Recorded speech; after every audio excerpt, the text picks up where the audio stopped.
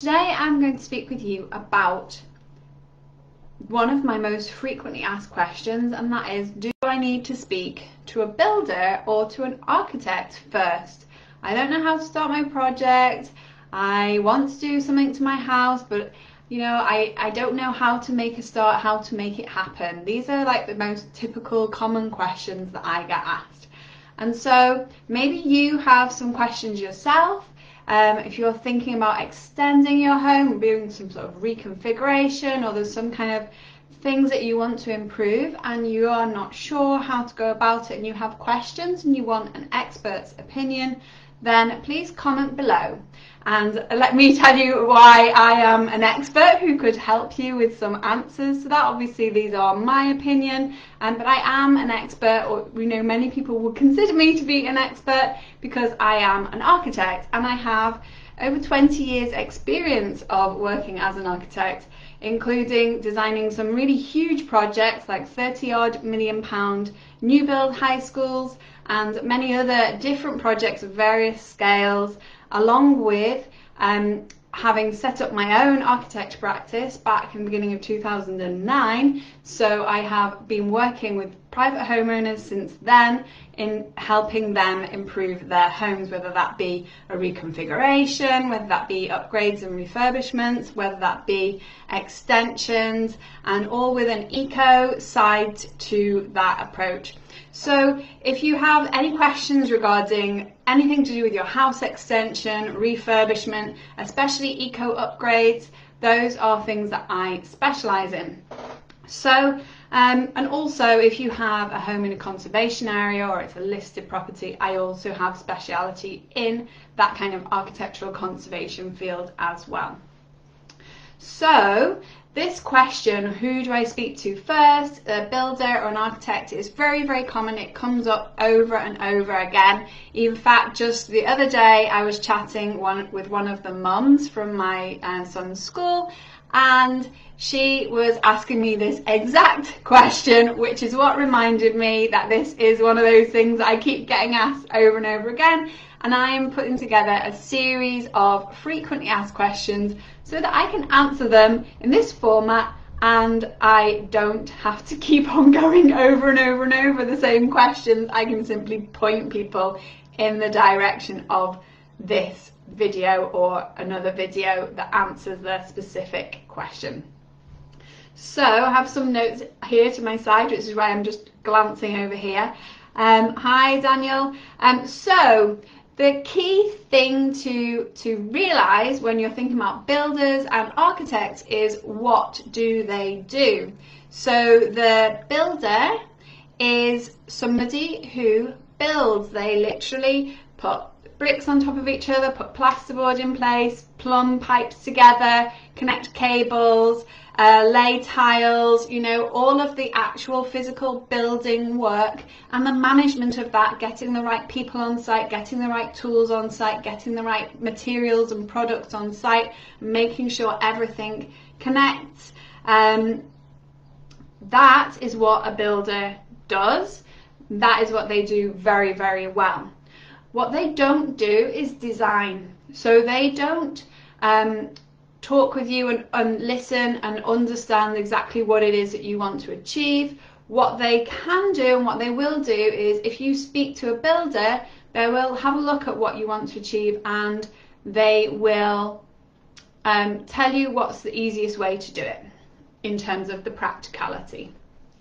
So builders build and architects design. So as an architect, I don't put bricks on top of each other. I don't fit. I am actually a really, really good tiler. I've had I've had people compliment me on my tiling skills, so I have some practical skill. I I, I quite enjoy getting in there and doing a bit of DIY. But I am certainly never going to go out and do any tiling for any clients as a professional thing. That's not what I do but I do design. So I might design you your tiling layout so that it, you know, you've got some nice texture and pattern there within your tiles. That's something I can do.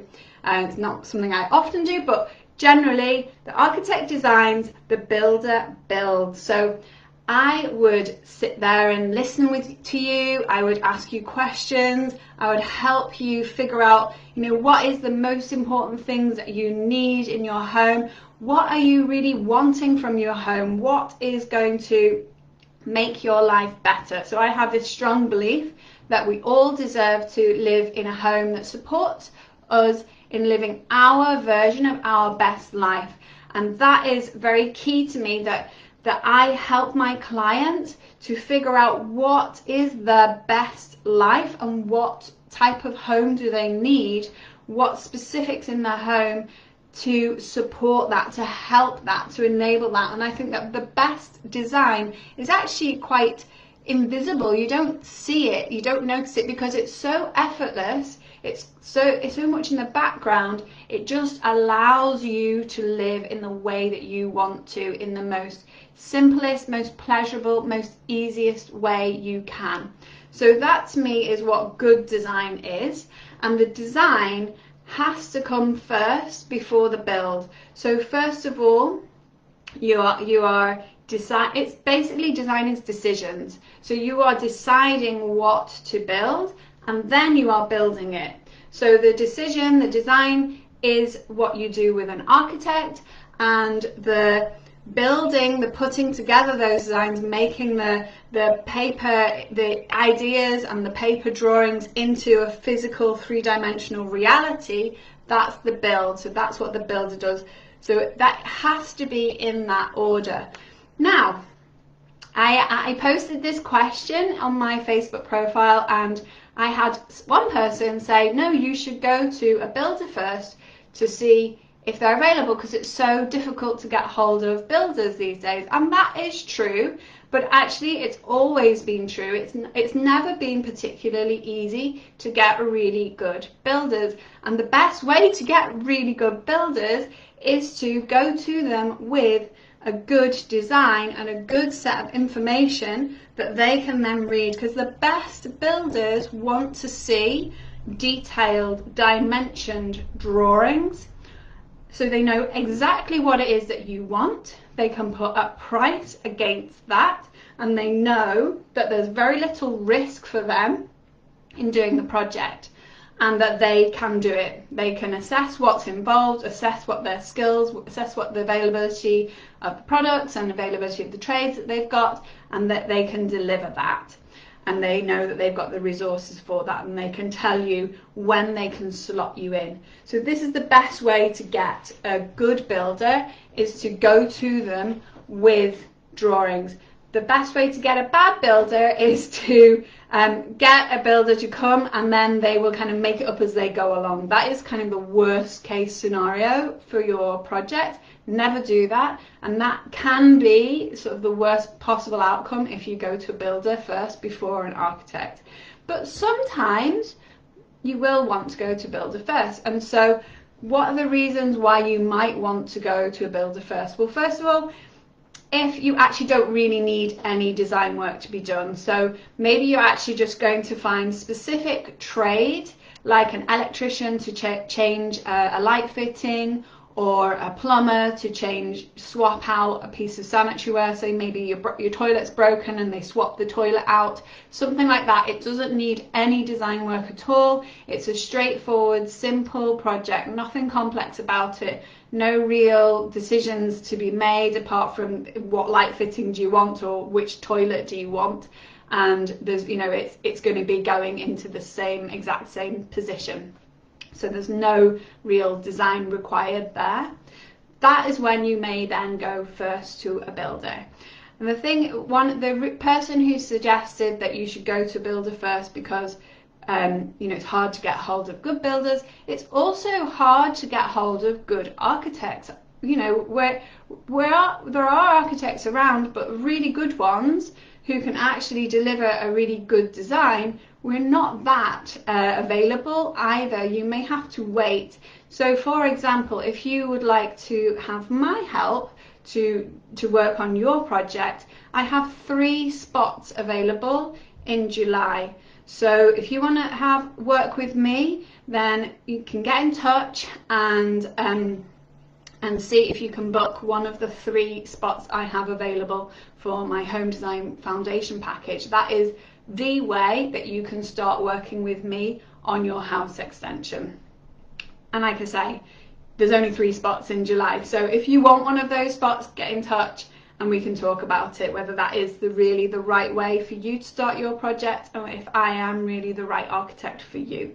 Um, I, if, you, if I'm not the right architect and if this is not the right start for your home extension, then I will tell you. I'm not going to force you to, to work with me if it's not right. Um, so the other reason that you might want to work with a builder first, and if you're watching, woo, I've just turned off my screen. Um, if you're watching now, put a hi in the comments below, hi live, and um, and if you have any questions, any questions about extension or home improvement or reconfiguration, anything that you've been thinking about doing maybe to your home for a while and you're not quite sure about, then please do comment below. I'm doing a frequently asked questions series, and if your question is something that is coming up for me again and again and again, then I will do a video about that. So um, the other reason that you might want to talk to a builder first before an architect is if you don't actually plan to talk to an architect at all and you want to take a design and build route. So a design and build route is a specific kind of construction contract and a specific approach to getting your construction project done where you work directly with the contractor, they manage the process and they employ a designer to work on your design. So you will end up working with somebody, it may or may not be an architect, it may be someone who has some design skills, it may be somebody who's more technical, um, whether or not it's going to give you the design quality that you really want is uh, much less um, um, certain because you don't know, you don't necessarily know who you're going to be working with beforehand, you don't necessarily know what their design abilities are. And also because the designer is, in that case, directly employed by the builder and not by you, then the builder is the one who will be calling the shots. And so you may want something, but they won't necessarily give you that option. And they may look at sort of cheaper alternative ways of doing it so that you are not getting actually the same quality and the builder is still able to make a profit because it's a business and they need to be making a profit to run a successful business but that means that although you will get cost certainty going down that route you will not get control over the quality so if you're looking for a really quality finish design and build may not be the right route for you but if you're looking for a specific um, time scale or a very fixed cost, then it could be a good option for you. The only thing is that where, where the cost comes into it is you might not be getting the value. So it might be a fixed cost, but the quality, maybe there may be some skimps and savings made that you are not necessarily as comfortable with because um, they have to, you know, maybe something happens in the course of the project and they make some alterations to the design to make it cheaper to maintain the profitability for themselves. So that's where you don't have as much control.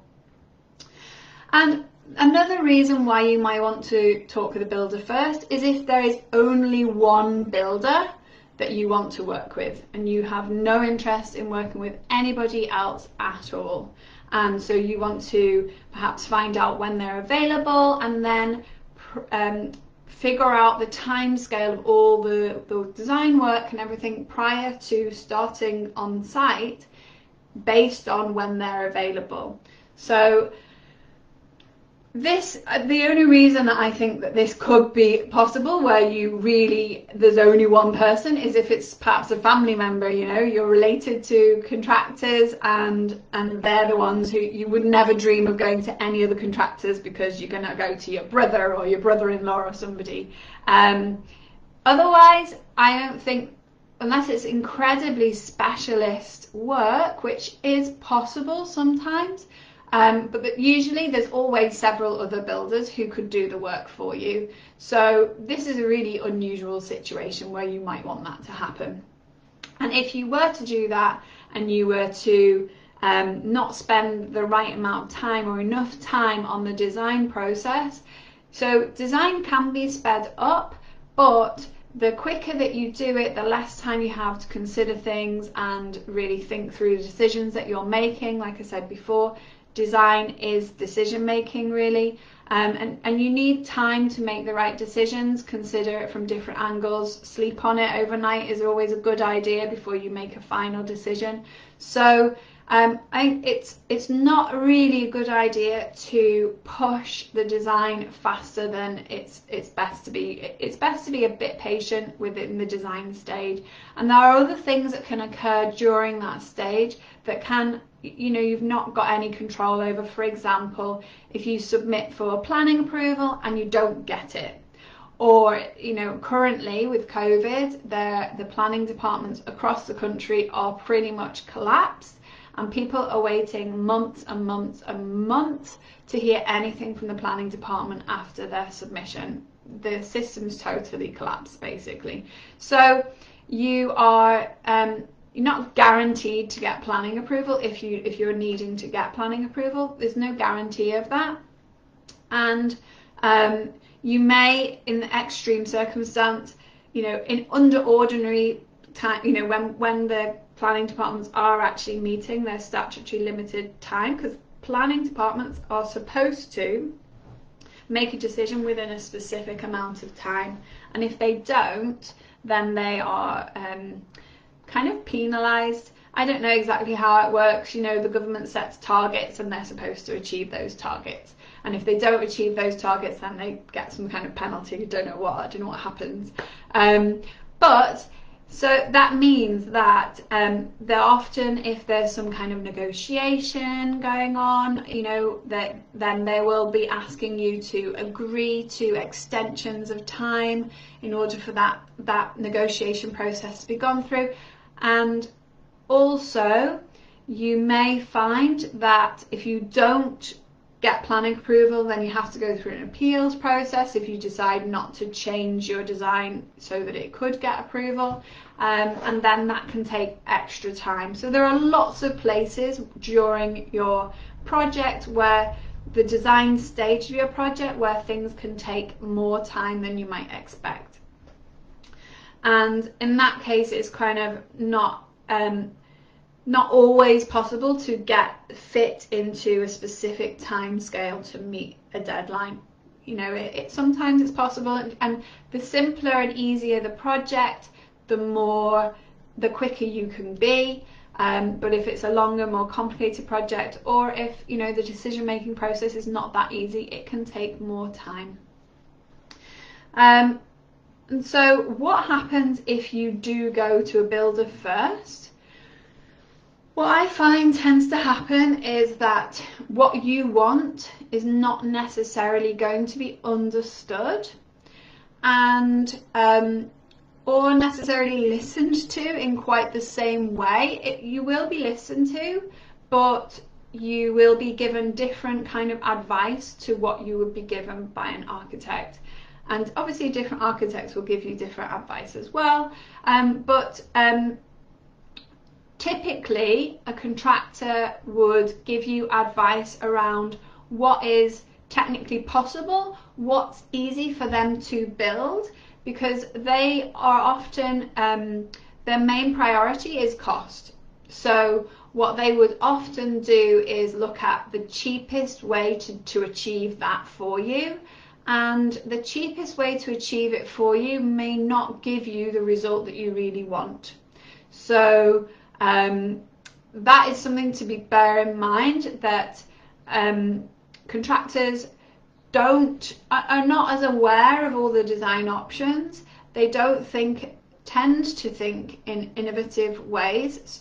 Obviously, there are contractors who are very innovative, um, but but generally, your typical house extension um, contractor is looking to um, give you the, the, the sort of a good decent quality and finished on time and in budget, and their main priority really tends to be cost.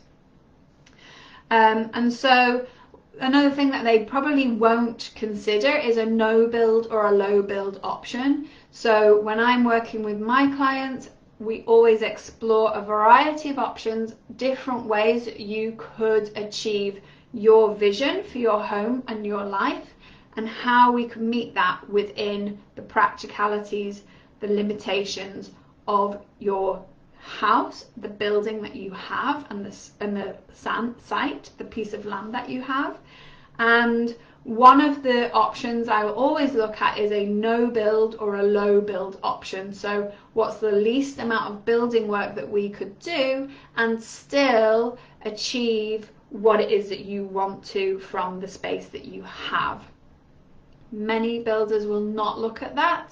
Um, if and specifically not if you go to a builder and say, well, we think we want to do a house extension then a contractor is not going to sort of start to dive into all the details of why you want that, what you want to achieve from it, what's that going to, be- how's that going to benefit your life, um, and you know, is there another alternative way of achieving that same result for you without that extension, or extending in a slightly different way, or reconfiguring a space in a different way? So there are all these different options, but if you go to Bill and say, we want to do an extension because maybe you are, that's the only way that you can see to resolve your problems that you see that you have with your home.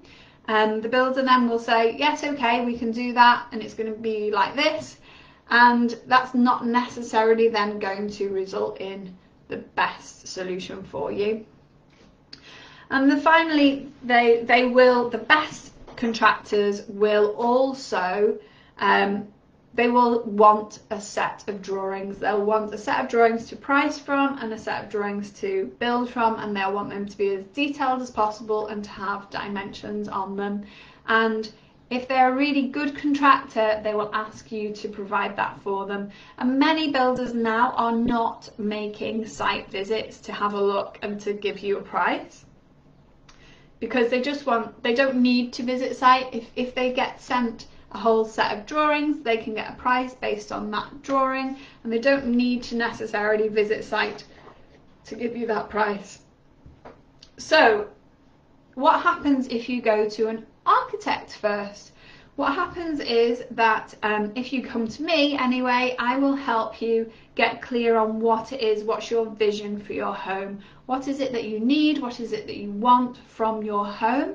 And we get really clear about that, then we'll explore different options to achieve that for you in different ways. Like I said, a no build, a low build, and then maybe sort of a maximum build. What's your you know what's the most that you could build to this property and and how would that work and what would that look like and how would that give you what you want um, and then I will help you to check which of your options are best for you or if you have a preferred design is that really the right design for you? So let me know do you do you know what you want to do to your home? Have you got a vision for your home? Have you have you decided or are you sort of still trying to figure out what's what's possible what what is it that you really want trying to you know get an agreement with your other half like so you both on the same page with that where are you at with your project right now um, then after you've done that in, in sort of architectural jargon, that's kind of like a feasibility study. Um, in terms of the work packages that I do, that, that is what is included in the Home Design Foundation package. So you will get to the end of that and then you will know what it is you want to do, how you want to move forward.